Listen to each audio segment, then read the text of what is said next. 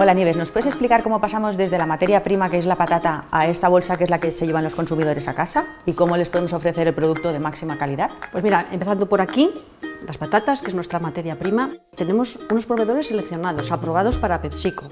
Proveedores que no son aprobados no pueden traernos aquí patatas.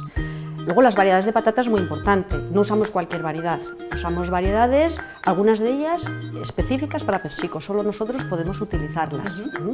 Después en el proceso productivo pues tenemos equipos sofisticados como por ejemplo un equipo de visión que saca una fotografía a cada chip, a cada patata y aquellas rebanadas que son oscuras o que sabemos que no van a gustar al consumidor son rechazadas, esas ya no van a las bolsas. El aceite es de máxima calidad, continuamente se está renovando dentro de la freidora.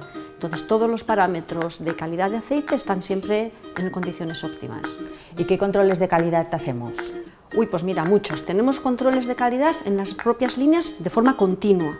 Y luego también hacemos eh, controles de calidad en el laboratorio con una frecuencia como máximo horaria de parámetros que realmente pues, eh, sabemos que tienen influencia en, en el producto o bien en la apariencia o en el sabor o en la textura.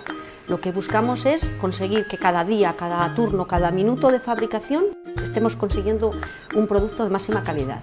Podemos asegurar que siempre tenemos el mismo producto con el mismo estándar de calidad y que nuestro consumidor va a encontrar el producto en óptimas condiciones. Pues eh, para eso estamos aquí, eso es en lo que trabajamos y bueno, nosotros siempre decimos, los que estamos eh, fabricando los productos, es que solo fabricamos productos de los que realmente nos sentimos orgullosos.